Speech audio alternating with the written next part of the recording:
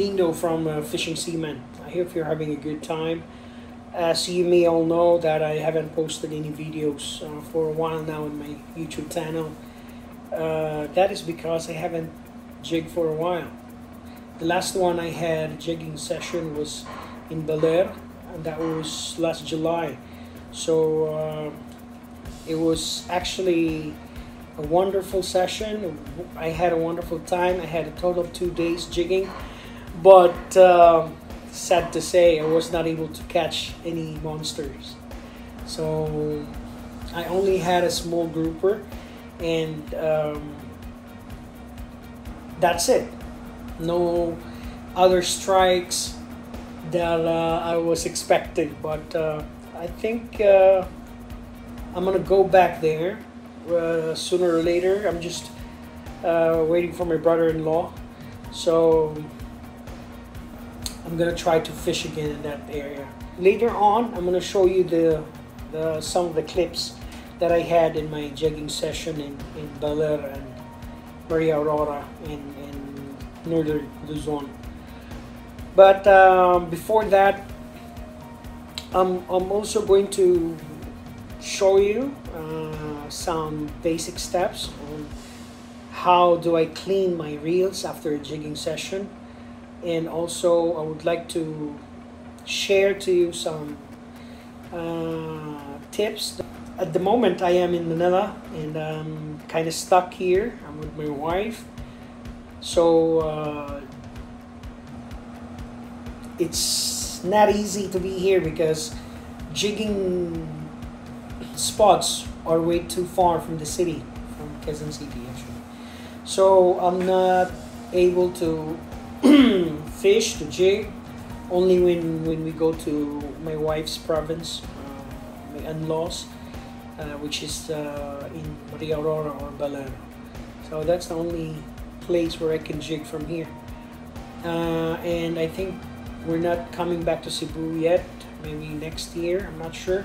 But anyway, at the moment, I am, despite of being here in Manila, I have managed to bring some of my stuffs, some of my, some of my especially my my jigging setups.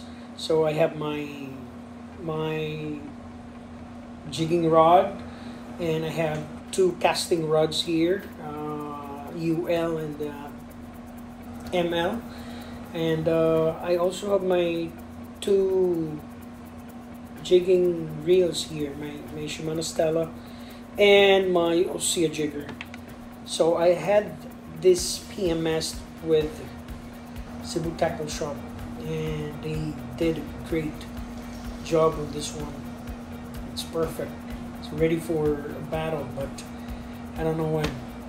So, so far I have no rod for my Stella, but my brother-in-law is coming from Cebu, so I might have to ask him to bring it for me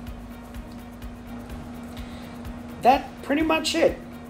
So cleaning your reels is very important because no matter how good angler you are, uh, as an angler, I mean, it is very important that we know how to take good care of our gears, especially our reels. It is only normal that as the owner of those reels, you have to be responsible enough to maintain your reels and uh, make sure that it's always in a good condition and ready for any time that you have you're going to have a fishing uh, session. Okay so um, all my stuffs were actually in Cebu Cebu City. So uh, all my, my my my setups my gears my lures my jigs but I managed to to bring some with me. So I, I, I was able to brought my Ocea jigger and my um, Shimano FK and my Stradic for casting, uh, UL casting, and also um, my Stella uh, 8000, the, the main setup that I use for jigging. My Ocea jigger is uh, my backup, and FK I use this for my light jigging setup. So I mainly have three. Um, All right, let's go to the cleaning uh, part. The way I do it is uh, I start with the bail arms, you know, the bail arm. The bail arm is very important because this is the only thing that holds your line when you're fighting your fish. So you have to make sure that this is sturdy and working well and stable. Because if your bail arm is falling or bail arm, bail arm is not functioning, you're gonna have a problem with it. So you go first for your bail arm, you use your oil spray.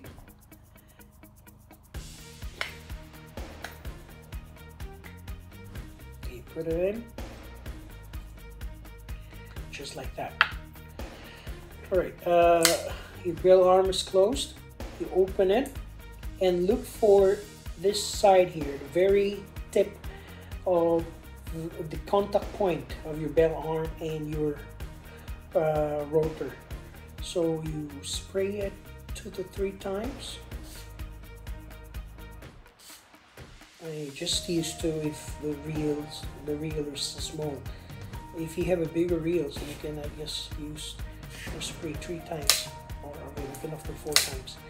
But yeah, uh, just swing your bail arm several times to make sure that the oil spreads in. All right, so after that, uh, when you're satisfied, then you put your bail arm into lock position. And that's it. So I use reel oil for that. Now, when do I get to use my grease uh, spray?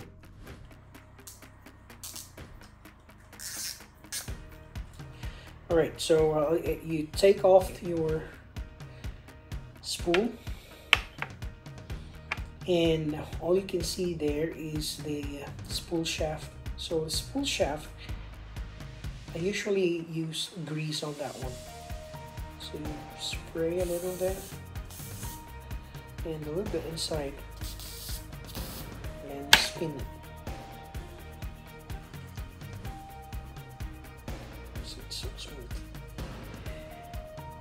Smooth. And then that's it. And then you put back your spool.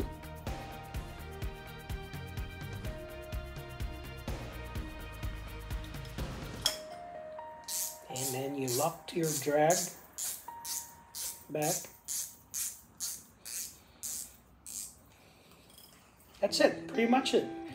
So, also another thing I would like to reiterate to you guys that uh, aside from bail arm and the spool shaft, you can also use oil into your handle knob here in this part here. You can use oil in that and spin it a few times. That's it. I'm done. And also another thing, you can also use grease for your drag if you want to uh, put something into your drag, of course you can also do that. Uh, grease, not an oil. Okay, it's not advisable to put an oil into your drag. Screw. I was able to pull off my drag. For your drag, use grease. Just a little bit spray on there. That's it. And put it back. Uh, when it comes to the inner part or the inside of my reels, I don't trust myself on it.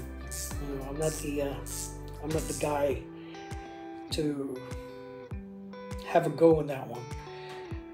But the thing is, I have this uh, couple of friends that can do it for you. Go to Cebu Tackle Shop, look for Apollo or Edriel or Jeffrey, and they can assist you with it. They will open your reels for you. They will clean it up.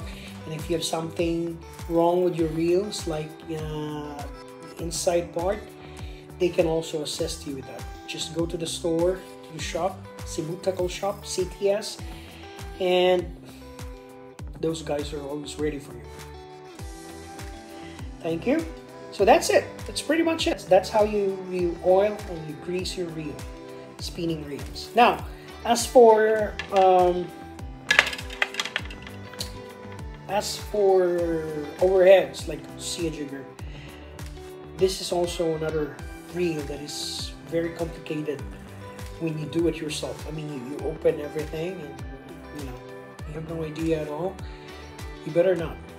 If you're not sure what you're doing, bring it to CTS and have the guys done it for you. Okay, so when it comes to my Ocea jigger, what I do usually is when I oil it up or grease it, I use grease on all the moving parts.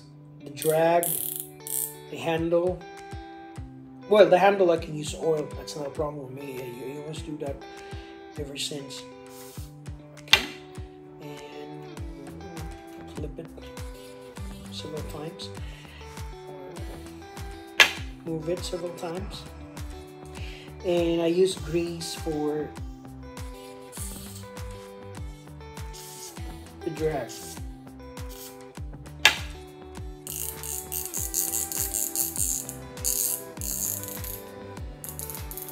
That's it.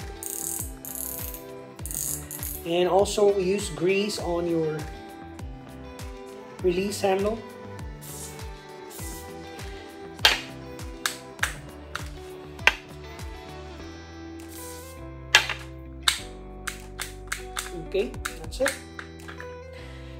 friend once told me that uh, if you want to find out when your Ocea jigger is needing a PMS is when you're having a hard time to release this lever here.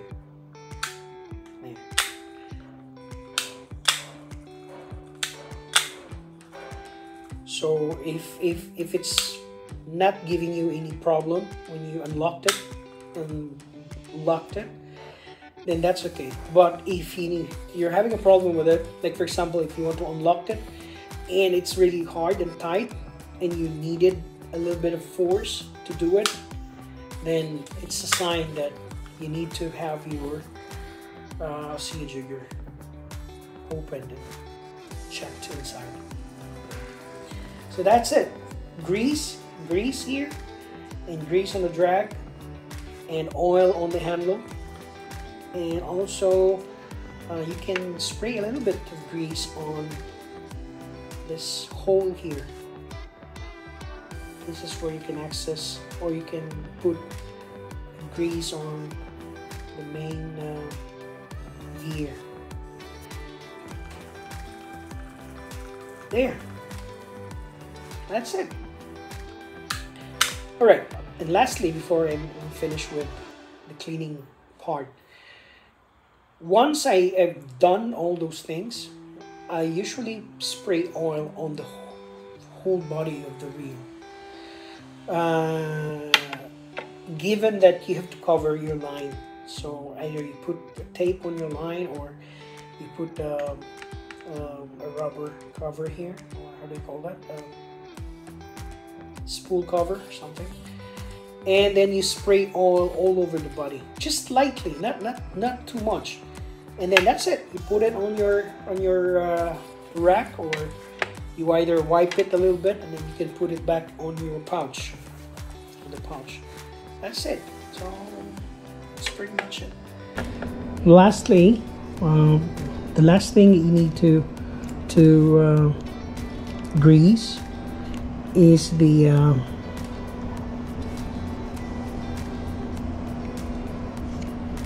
this part of the reel. Here this is uh, where your handle gets in. So uh, you have to put a grease in there.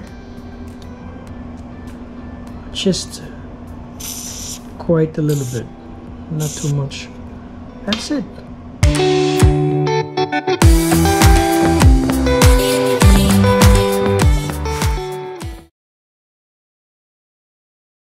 Going to share to you some few important tips that might help you or, or might be a big help to you guys. Here's one tip that I have to share to you.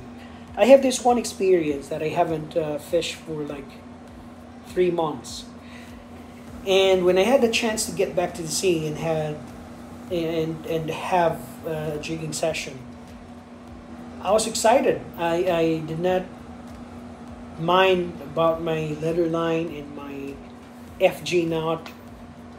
I didn't mind about my FG knot as I thought that maybe it was still good. It's been just three months. I think it will be just fine. So I fished with it. Um, it suddenly broken. So meaning the FG knot did not hold up. It suddenly broken. So meaning if you had an FG knot and it's been there for like a couple of months and you want to go back to fishing or jigging, you have to make sure that you change or retie a new FG knot. Don't use the old one. I don't know why, but based on my experience, like twice, three times, if you're using your old FG knot, there's a tendency that it doesn't hold much as it was when the first time you, you tied it. So always check your FG knot. If it's old enough, if it's like three months, four months, two months probably, I think it's time for you to retie it. Change it. Cut those lines and tie another new FG knot just to make sure that when you have a good strike and you have a good fish, you will not regret it because your FG knot is holding up and it's not it's not breaking or you're able to land the fish. Uh, and secondly, another thing that you also have to consider when you're jigging is your um, drag. We all know how important drag is. We all know that without drag, it is impossible for you to, to catch that fish. When I started jigging, I am uh, taught to use drag not so tight and not so loose because the purpose of the drag is that you tired fish or the fish can, can, can burst and your reel will release its line but tension is there but not too much because your line could snap. That's what I I learned from the, the past when we were in Siargao and I had this big strike. And the fish were able to pull the line down all the way to the reef and it snagged my line and I it snapped. It was a good fish. It was a good strike actually, and so uh, team, uh, boss team uh, from CTS, he advised me to. He advised me to change my drag, tighten it. So, as per him, he said you need to tighten the drag so the fish cannot go or so the fish we're going to have a hard time to drag your line all the way to the bottom. That's to avoid snagging or reefing your line and it will end up to snap. And I realized that, okay, yeah, I think it makes sense. So I tried that and boy, it's working. So thank you, boss team. That was a good tip that you've shared to me and now I'm using that one. Don't don't be scared of, of uh, tighten your your drag. Uh, just make sure though that it's not too tight that your line will not going to uh, give any slack when the fish drags out. So you always have to make sure that you are on the set. You set your drag on between very tight and tight. So I don't know how to explain that. So let's just say, for example, I'm gonna show you. Uh, I have my OC jigger here. I'm not sure if how tight is this. So I haven't checked, but uh, let's see. That's too tight.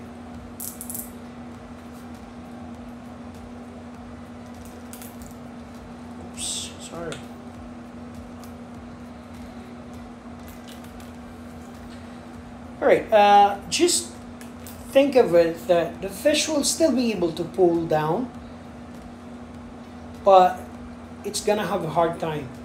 Uh, The only purpose for that is for the fish not to be able to to easily drag your line down and snag that on the bottom, or snag it or reef it or something like that. So I think that's it. I don't know. I don't know how to further explain it to you guys, but set your drag tight. Set it tight. Not so tight, but tight, tight, tight. Okay. All right. So, um, okay. The next thing, um, your jigging lures. Okay, your jigs. Uh, when you're going home from the jigging session, always remember to wash or flush your jigs with fresh water. Tap water will do. Before keeping them back to their containers or boxes. Because I have my, my brother and I uh, had jig one time in somewhere and he forgot to wash his jigs. He discovered it from the box after almost a year. And he said that everything is so messed up, you know. The hooks, his uh, split rings, and swivels are all rusted. It's all rusted, so he said he forgot to wash it after our last session, jigging session. So that's it. I think it is something uh, to share for everyone. So you would know that uh, it's very important to wash your jigs, not just our reels, our rods, but also our jigging lures. And I think everyone is familiar of those famous jigs that we used during jigging. We have this Hugot jig, 200 grams, 250, 300. Hugot is so famous. GC, uh, that's that's under good catch, yes. Hugot. And of course we have the, we have the um, Ivana, Ivana jig, and so much more. Corral, Corral, I personally I use Corral, and uh, lately I discovered Gumuko, and also one of the best jigging lures. Okay, for me personally, I prefer to use Hugot eh, eh, when, when I'm going for a jig. But it's also, I am dependent on the condition of the weather. Let's say it's a sunny day, you know, sun's up and not not so much cloud in, in the sky I go for silver. So I'm into silver. Silver Hugot, silver Ivana, silver Corral. Um, it's always, it always works most of the time. Silver. Especially when you are on a GT spot. Uh, 60, 70, 90 meters. It's working uh, perfectly. Silver or blue pink also. Uh, it's another another one that, that works a lot. And if it's kind of gloomy, you know, uh, when when weather is when the day is full of clouds and the sun is not showing up, you can still use silver. Actually, it's really it's really not a problem. But uh, you just have to make sure that you are in a shallower uh, spot, like a GT spot. It, it it would still work and but if you are going to, to the deeper part or the deeper spot uh, you always go for blue pink blue pink and then use a blinker uh, blinker and that also works most of the time Um, what else? Uh, th- those are the only things that I can share, to be honest. Uh, you can also use blinkers whenever you want. You know, everyone can use blinkers any time of the day, uh, especially when you're when you are fishing in, in uh, quite deep waters. So if you're targeting uh, to tuna, you can go for a blinker and a blue pink Hugot or a blue pink Ivana or a blue pink um, Petmalu. So 300 grams, yeah. I usually go for 300 grams when I am at around 200 meters. Yeah, that's always 300 or maybe even uh, heavier than that. But oh, 300 is kind of enough for me. But if I am at around 90 meters, I always go for 200. I don't use 150 anymore. I let's say my my my smallest jig used my smallest jig that I use these days is 180 grams and that's Corral. And then 180 and I go to 200 270 uh, Claro GC Claro. And I go to 250 but I usually go for Hugot jigs 200 flat that's my most um, productive jigging lure so uh, imagine I remember my last dogtooth tuna that's my first one actually in the jigging. That was Hugot uh, 200 grams blue pink with a blinker on the top. The head side of the jig. And uh, to be honest I was not even uh, jerking them you know I jerked for just a couple of cranks but then I stopped because I talked to the guys. I talked to my colleagues. CTS family and then I just felt that something grabbed grabbed my lure grabbed my jig. And so I made like two hook sets and fish was on. Just always remember guys that when you're jigging it is very important to be uh, consistent. What I mean by that just don't feel hopeless or don't get disappointed when fish are not biting because we don't really know when the fish would, would bite as long as you know that you're on a good spot or or you had that spot before and you had a lot of strikes if you're back on that spot and you know that there are fish in there just keep dropping your lure. Jerk it as much as you can and never give up. If you are in the, if you are on a stage that you're too tired and you're almost you're so tired and can't keep up anymore, then take a break. Take a break for a couple of minutes, maybe an hour. You can lie down or you can take a nap, then get back on it. And that's uh, that's that's how the game is. You have to keep on it.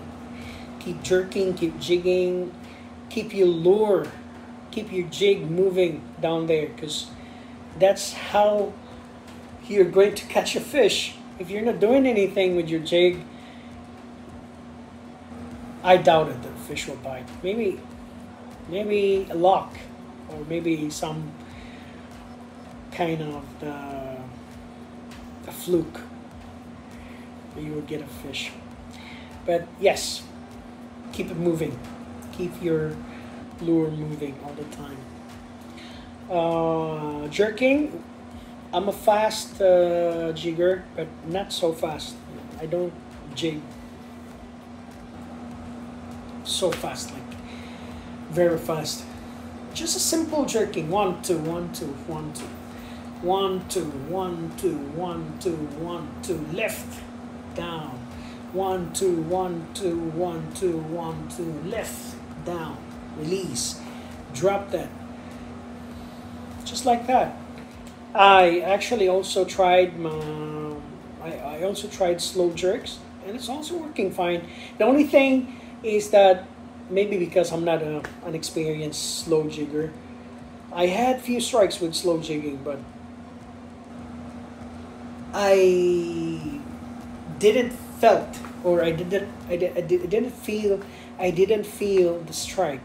I don't know why. Maybe the strike is on or maybe the strike was during dropping of the lure. You, imagine when you're doing slow jigging, you lift your rod and you suddenly dropped it, and so the lure dropped. Maybe the, that that's the time the fish strikes and you won't feel because you're dropping and slacking the line. I'm not really sure. Maybe that's just just on my own opinion, but I want to learn how to slow jig. Maybe one day. I have my, my slow jigging gears, but I will. I haven't focused on it. So that's it, guys. Um, never give up. Choose a good jigging collar. Make sure all your knots are properly tied. FG knot, your AG knot is also properly tied. Always use lighter to burn the end, tag end of your leader line. That's um, standard procedure. Um, what else? That's it, I guess. If you have more questions, if you have something to ask me, um, just, just send me a message. Can you can message us on our Facebook page, the Fishing Seaman. Uh, I will try my best to to give you the best answer. Uh, and and you can also comment on my videos on YouTube. Uh, yes, guys, please uh, subscribe to my YouTube channel. Uh, I know I haven't much of a subscribers yet, but it would really help if you can you can add to it and be part of my channel. Thank you guys. So I would say I would like to thank my my subscribers on YouTube for for their undying support and uh, also I would like to thank my CTS family. Thank you so much and uh, um, I would see you again in our next uh, next fishing adventure. Thanks guys.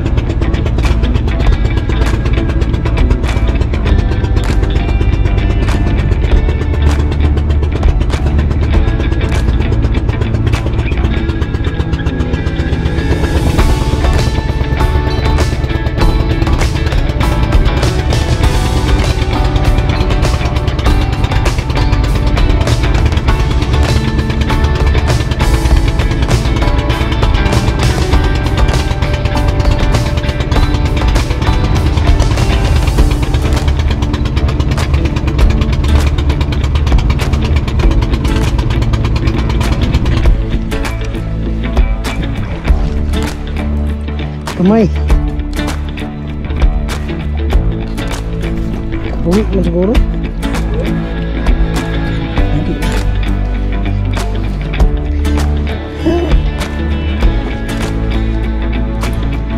Kasing ko ano eh. Lahat na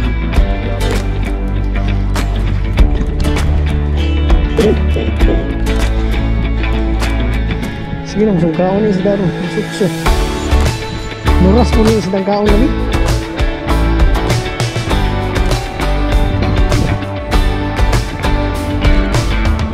Berikan Dari ko ni, ya. isda na lagi. Hmm. Super guys.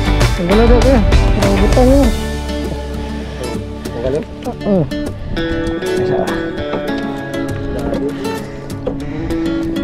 butang Kaya buka po sa mga guys. It's a brown grouper. Thank you. Thank you. Lagyan lang dyan. At least nahuli na tayo. Di na tayo zero.